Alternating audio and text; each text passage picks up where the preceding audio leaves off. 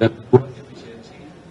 Jadi saya senang sekali udah bicara dengan Biro Semen ya, dan juga dengan dirian kami, bisa belanja, ya. Tetapi itu apa namanya eh, sesuatu yang wajar dalam jumlah yang besar itu sesuatu yang wajar sekali mendapatkan eh, suatu diskon dalam dunia bisnis yang juga kalau bagus kita bawa ke dunia korporasi tentu misalnya belanja 500 eh, juta dengan belanja satu T kan tentu ada suatu hal yang eh, suatu diskon. Itu wajar. Ya jadi itu bukan karena pakai power tapi memang bisnis.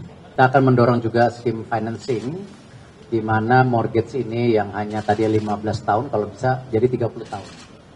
Supaya kembali membantu masyarakat yang memang sudah punya budget tertentu dengan ditarik 30 tahun dia akan cicilannya jauh lebih rumah. Ini bukan rumah rakyat tapi ini menyeluruh ya, baik rumah rakyat, menengah ataupun yang kelas lainnya. Jadi ini kita dorong juga bagaimana dengan efisiensi kita bisa mendorong masyarakat juga menaikkan daya belinya karena tadi berbagai cicilan terutama yang penting seperti rumah bisa diperpanjang.